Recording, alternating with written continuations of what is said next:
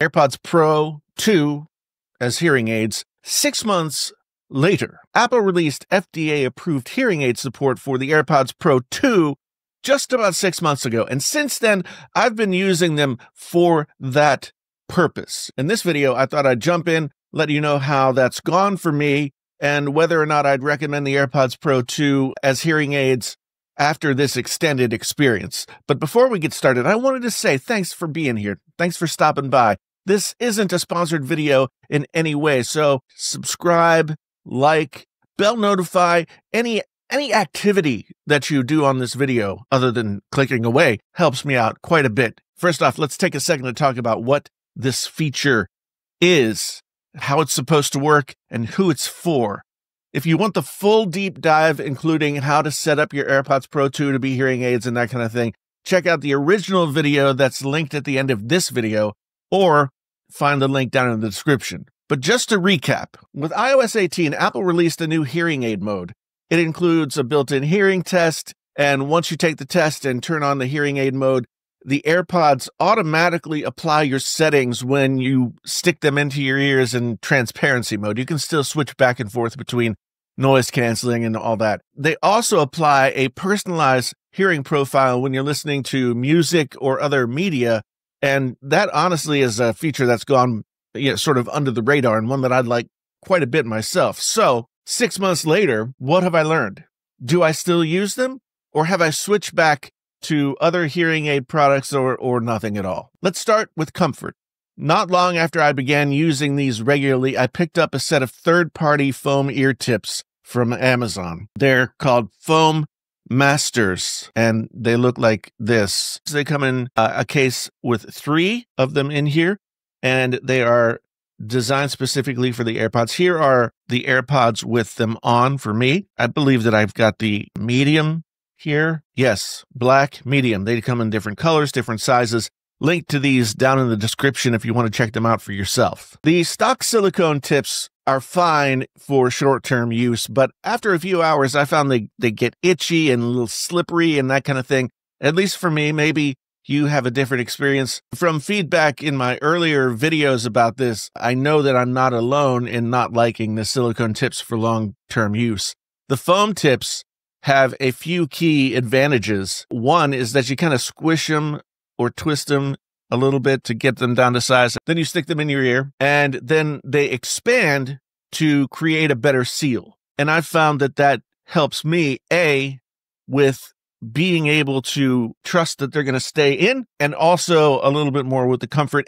And the better seal means that you get a better quality hearing aid setup with the AirPods just in general. For me, they've made a big difference. As for day to day use, I found that the AirPods Pro 2 work best for me as sort of spot support. They're not really made for wearing all day, every day with their battery life.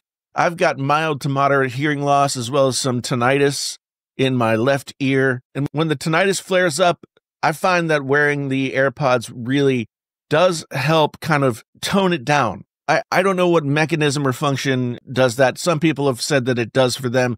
Other people have said that it doesn't help their tinnitus at all. In terms of hearing, I found they're they're great for when you're in a conversation, you're in a loud space, or you're try, you're watching television or something like that, and it, they just pick up that little bit more sound. You can adjust how much and and that sort of thing but i found that when i just plug them in automatically my hearing kicks up a couple of notches and it really does help. Since my first video i've tried also several over the counter hearing aids some costing three four times more than the airpods pro i've tested brands from sony and sennheiser Elehear and a couple of others and each one does something well, but not all of the important things well. Here's a big one.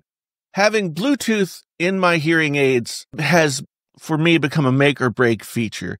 You get your calls, you get your notifications, you listen to your media, all of that stuff happens right away with these in your ears, in addition to kind of having your hearing amplified as well. It can be a little jarring at first but the alternative is like taking one out and then putting your phone up to your ear and then like to answer a call. I I don't know. I found that having Bluetooth as well as the hearing aid going is just an added feature that makes it that much easier to use them And the AirPods Pro do that better than any other over the counter hearing aid that I've tried. Having that sort of hands free connectivity is just the way that AirPods have always worked. And the other hearing aids that either don't have Bluetooth or they have it, but it feels kind of half baked. It doesn't sound as good. It, it's just, it's clear that they weren't designed with that as one of the main features. Now, here's a little bonus use that I've discovered. I'm a musician and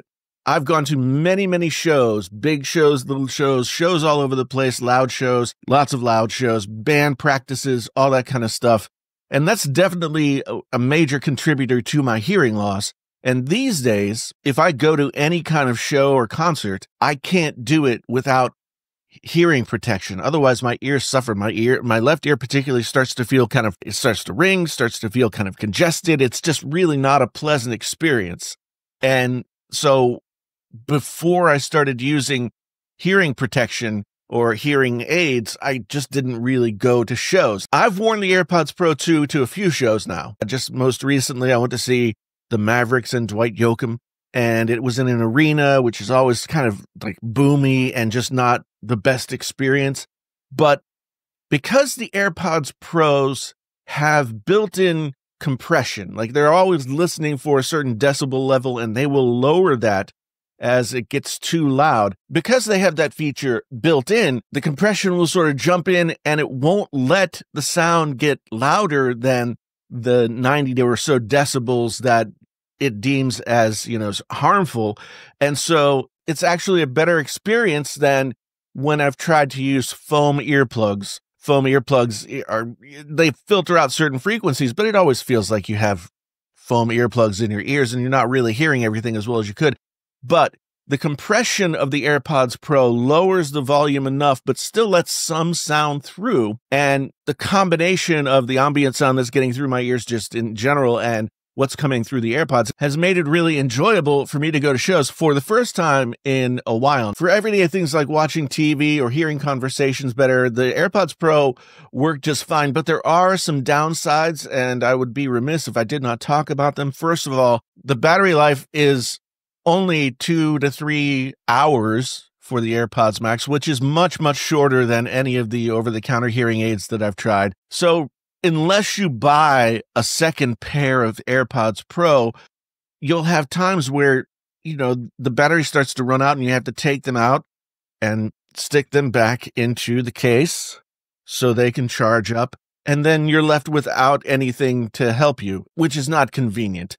And if you were to go with this as your one and only way to improve your hearing, then I think that having two pairs is still less expensive than most over the counter hearing aids. So maybe that's the, the route that you want to go. Second, the AirPods Pro are not invisible unless you have really long hair or something like that. Some people might see you wearing AirPods and think that you're wearing earbuds and they can't approach you to talk to you or you won't be able to hear them.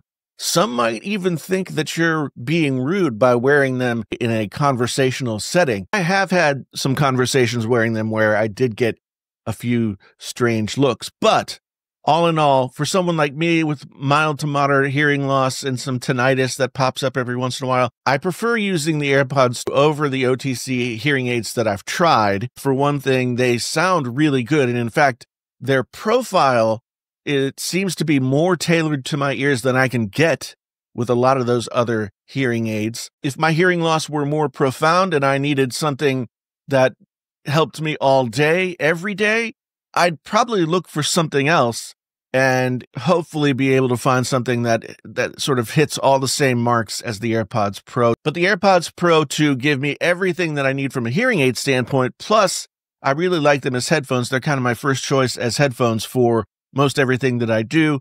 And they're a solid hands free solution for taking phone calls or dictation or whatever it is that you might need to do hands free while driving or whatever. Most OTC hearing aids for those kinds of things just don't measure up. If you've got questions about the AirPods Pro 2 or any anything else that's hearing aid related, please drop it down in the comments and I'll be happy to give you the answers that I have to give or direct you to someplace where you might be able to get the answers. And check out my original video about the AirPods Pro 2 as hearing aids to learn how to get it all set up and everything like that. That's going to be linked at the end of this video.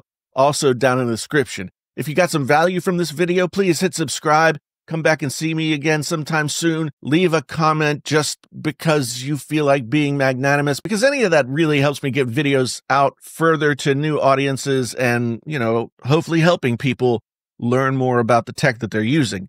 Clicking the links in the description gives me a small kickback. If you buy something, costs you nothing. And channel memberships are, are cheap as well. They help feed my grandson. Anything you do is appreciated, not least of which watching this video to the end. Thanks so much for being here. Until the next time, I'm out.